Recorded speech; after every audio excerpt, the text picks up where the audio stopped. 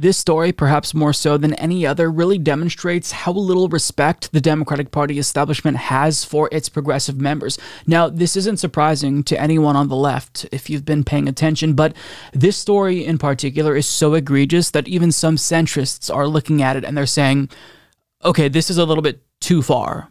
So, the DCCC is the campaign arm of the Democratic Party, and this organization has one goal. The chair of the DCCC, Sean Maloney, has one goal, literally. It's to get incumbent Democrats reelected. That's what he's paid for. But this individual is so craven that he has announced that he's going to try to sink the career of one of the members who he is literally supposed to be protecting.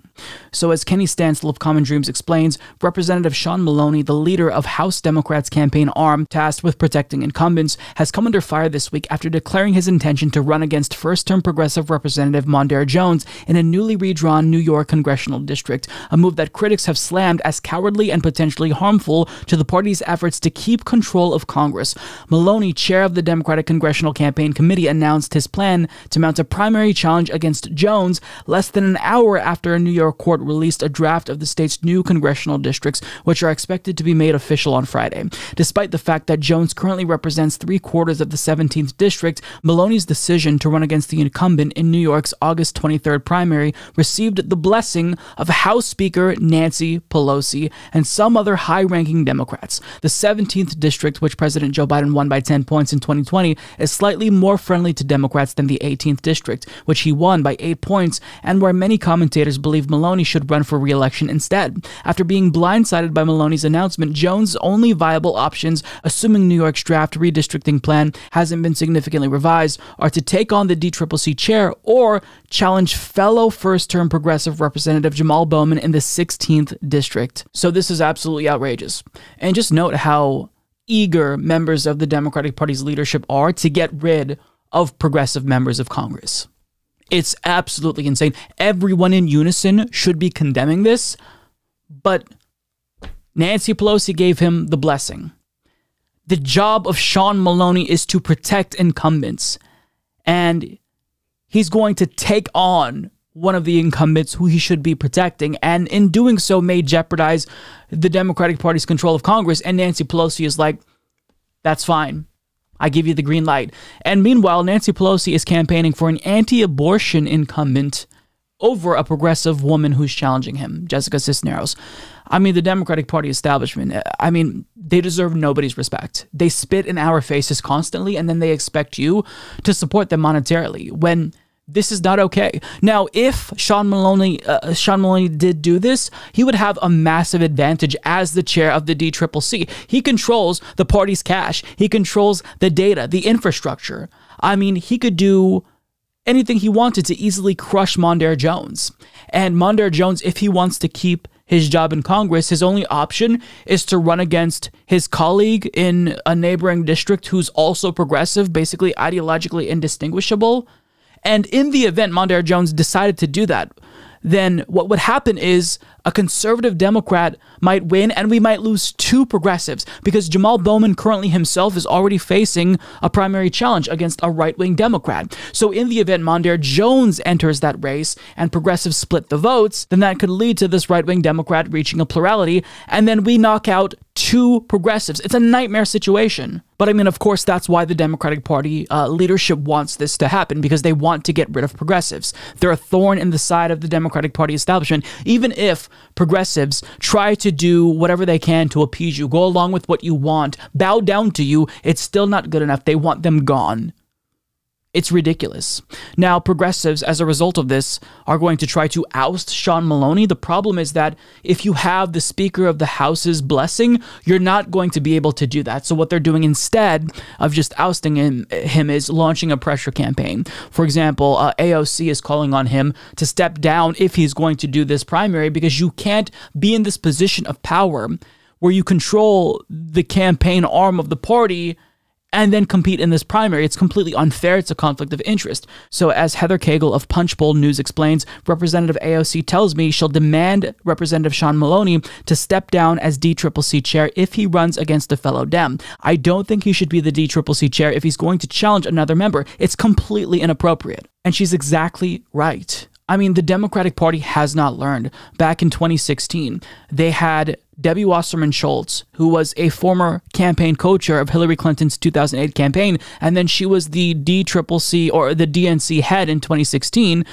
And that was an obvious conflict of interest. And then we later learned that internally she was trying to sabotage anyone who wasn't Hillary Clinton in that race. And so here we have a Democratic Party power broker who's trying to launch this primary campaign against someone, and he's expecting to do this while still in that position. And Nancy Pelosi has given him her blessing. I mean, this is outrageous.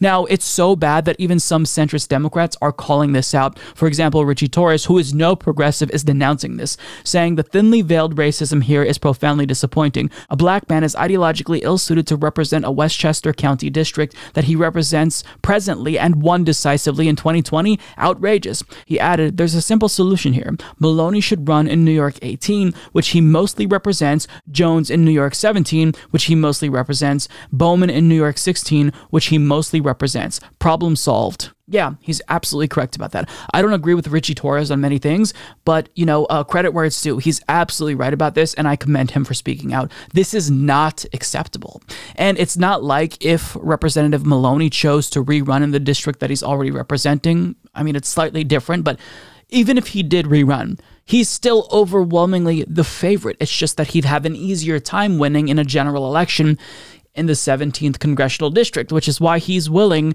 to take out another member of Congress, potentially two progressive members of Congress, just so he has a little bit easier of a job. I mean, what happened to actually trying to compete and win voters over? Sure, this is a slightly new district, but it's still overwhelmingly your district. I mean, can you not convince them with policy?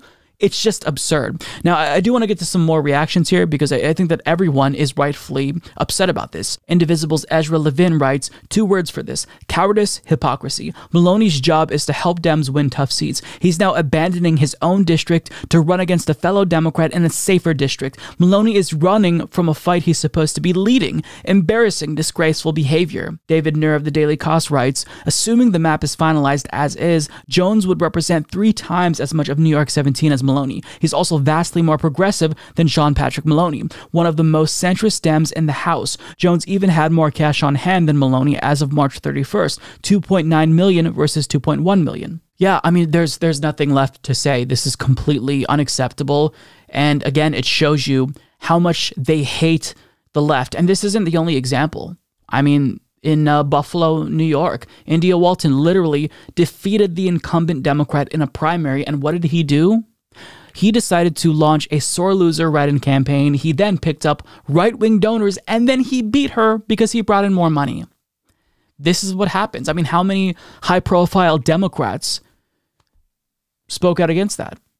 Uh, this is this is what happens time and time Again, the, the Democratic Party is fundamentally corrupt and broken to its core, and nothing will ever change so long as leadership as it is remains in charge. And if you don't like Nancy Pelosi, well, got bad news for you. The next person to uh, succeed her, Steny Hoyer, Jim Clyburn, they're as bad, if not worse, if we're talking about Steny Hoyer. So, I mean, there's no, uh, there's going to be no change in leadership for the foreseeable future. So, this is what the left has to look forward to. And as a result, the Democratic Party is going to wonder why they're hemorrhaging support, why the left and young people just don't want to support them. It's because of things like this. Do you enjoy watching independent news shows like The Humanist Report, The Rational National, and The Majority Report, but oftentimes YouTube doesn't deliver our videos to your subscription box? Well, I've got a solution for you. It's called the Opt Out app, available right now in the iOS App Store, coming soon to Android. Opt Out is an app made by and for progressives where they take all of the most popular independent news shows and they put them in one convenient location. You'll find all your favorites on there, like The Humanist Report, The Rational National, The Majority Report, and the app is updated multiple times per day, so your news feed is constantly constantly up to date. If you enjoy watching independent media, this is the app to get. Download it today.